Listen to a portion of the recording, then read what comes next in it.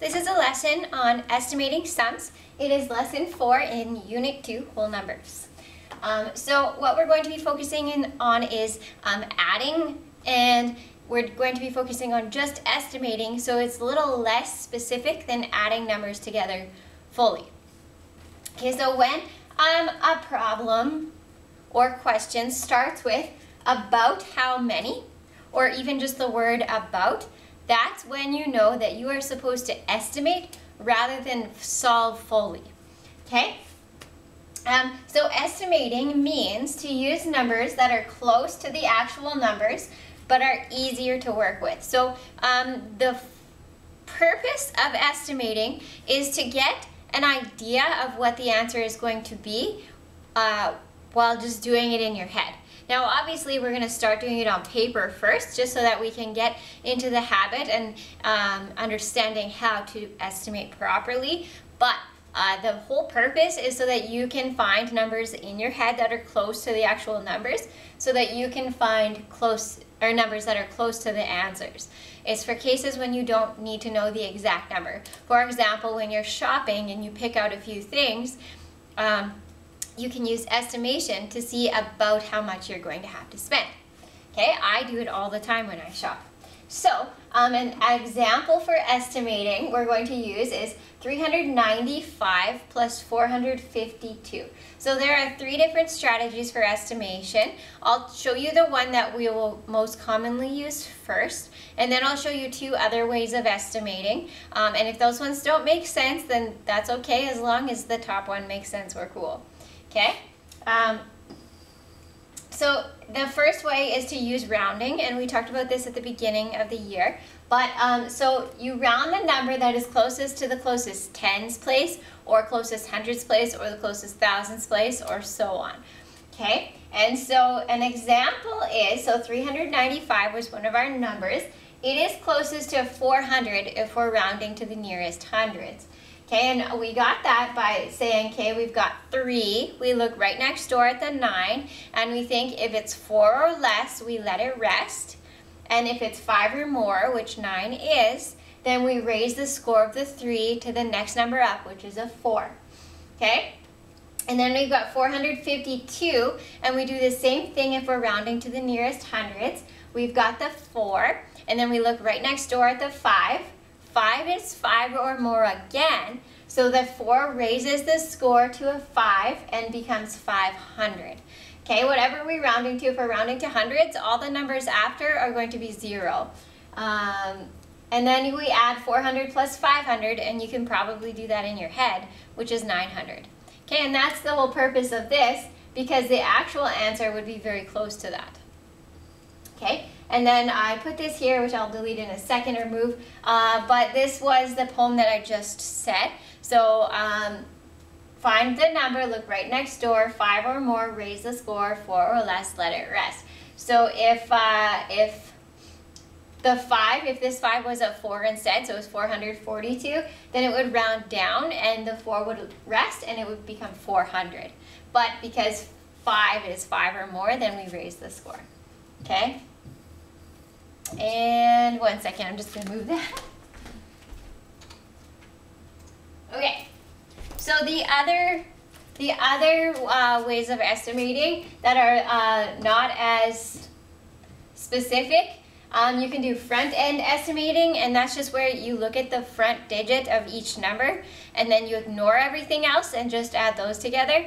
Um, that gets you sort of a less specific answer. So it's going to be further from what the real answers is. So I don't recommend using this unless you don't really need to know uh, very specific at all.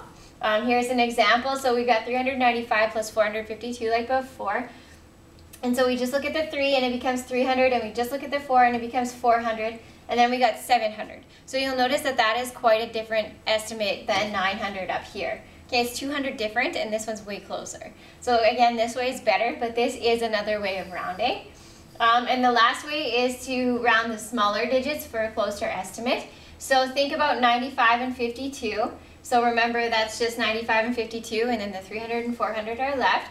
And so 95 is about 100 and 50 is about, or 52 is about 50. So if you add those two get two together, you get 150. And then add 150 to the front end estimate. So that's 395 plus 452. Um, and then we get 700 plus 150 equals 850. Um, so this is sort of a little bit, it's basically rounding to the nearest tens. Um, so 95, if I were to look at that, 5 raises the score of the 9 to a 10 and it becomes 100. And then the 2 lets the 5 rest as a 5. Um, and so basically it's 750, or sorry, basically it's uh, 400 plus 450 and that equals 850. So this is the most specific way, uh, but again, the one at the top is going to be your best bet for rounding. Um, so let's look at some examples here. So estimate the following. So you can use any strategy that you want, but what you need to do is estimate, uh, well actually don't use just front end estimating. Either use that first one or the last one, um, but round this number and round this number. And uh, I'll say round this one to the nearest hundreds, and then round this one to the nearest uh, hundreds again, okay? Just to see a little bit different. So pause the video, do these two questions, and then play again to see if you got it right. Okay, so um, if I'm rounding to the nearest hundred, that means I'm looking at this number and this number, so the 3 in 305 and the 4 in 489. Okay, so if I'm looking at the 3, I look right next door. 0 is 4 or less. So the 3 rests and stays a 3. Then I look at the 4, and it has an 8 beside it. So 8 is 5 or more. We raise the score of the 4, turns into 5, and we put zeros after that. And then we are left with 800. So that means that our estimate is about 800 for that answer. And, oh, we did that. That's okay.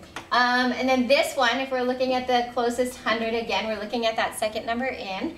Um, and so We've got 3 and this is an 8, so the 3 will stay the same. 8, we don't know, we have to look right next door, it's a 0 again, so uh, it, it lets it rest because it's 4 or less. And then we just put zeros after. Um, and then we look at this one over here, we've got a 6 and a 1. So 6 is going to stay the same because we're rounding to the nearest 100. And then we've got a 1 and then a 5 next door. So 5 is 5 or more and we raise the score of the 1 to a 2 the other stuff becomes uh, zeros. And then 8 plus 2 here. 8 plus 2 is 10. So that means that uh, this is going to be 10,000 as an estimate. Okay, because 38 plus 62 is 100, I think. Let's just make sure. Uh, 6, 7, 8, 9, 10, yeah. And then those zeros go after. Okay, um, yeah, so that is your thing. And then just to show you, um, if I were to round to the nearest thousands, um, then I would get, let's see, 3 and then 8 is 5 or more and raise the score, so that's 4,000. And then we've got 6,000 it would round to, so that would equal 10,000. Interestingly enough, that doesn't normally happen, but in this case, you get the same estimate, so that's interesting. And then, uh, yeah, your assignment's not on here, so you'll just have to look right next to the video and uh, you'll see what your textbook assignment is.